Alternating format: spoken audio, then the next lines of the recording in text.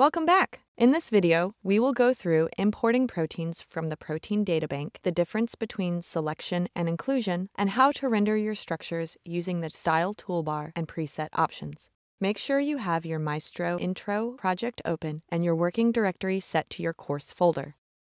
Let's get started. First, we are going to pull in a protein from the Protein Data Bank or PDB.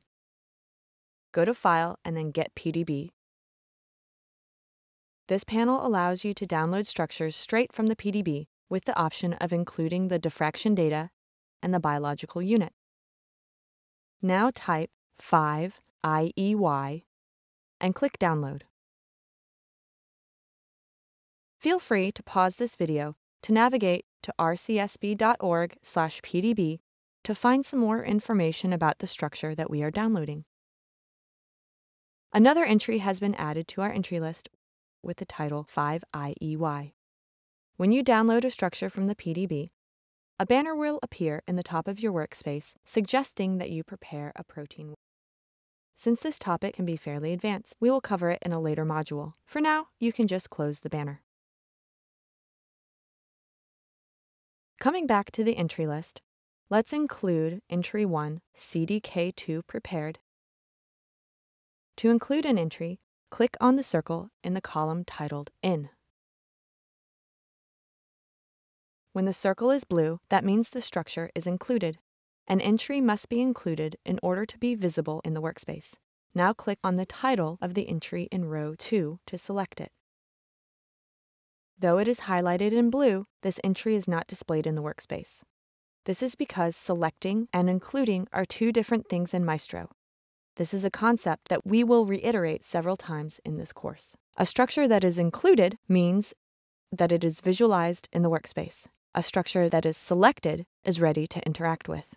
Remember the previous video taught us that Maestro uses a select first paradigm. Selected items are ready for some sort of change or action. It is possible to select multiple entries while including one, include multiple entries while selecting one, or any combination thereof. Just remember that when you are asked to include an entry, you should make sure that the blue circle is filled.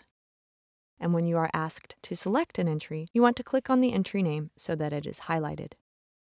For people who learn best through reading, we've put these definitions of selection and inclusion in the key terms before this video.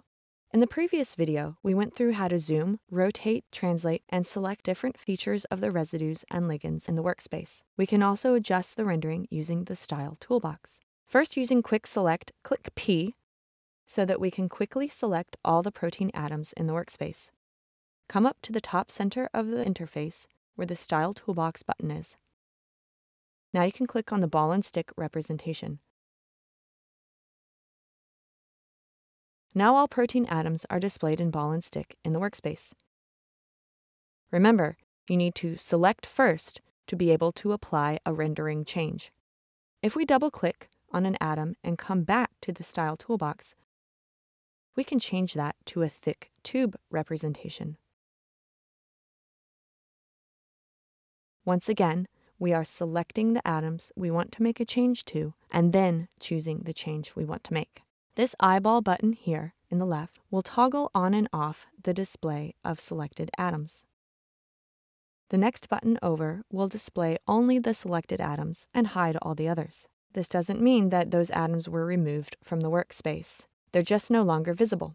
We can use the P in Quick Select and the first eyeball to make the protein visible in the workspace once again. We can also do things like add ribbons by selecting the protein, which we have already done, and clicking here to add ribbons. You can change the color and representation of the ribbons. We'll stick with the defaults for now, but later on we'll show you how to color by the secondary structure and map that onto a protein surface. For now, click in a blank area of the workspace to close the Style toolbox. While it is useful to be able to manually change the rendering of various molecules in the workspace, there are also some handy presets that you can use to apply many rendering steps at once. Presets are like rendering recipes for your molecules.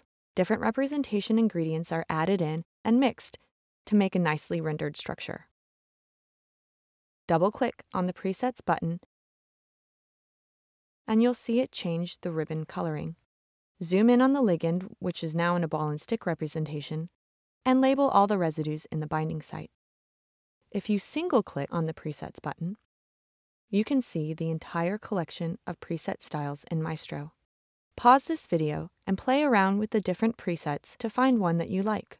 Also, you can choose to edit the custom preset if you would like to customize the default preset rendering in a particular way.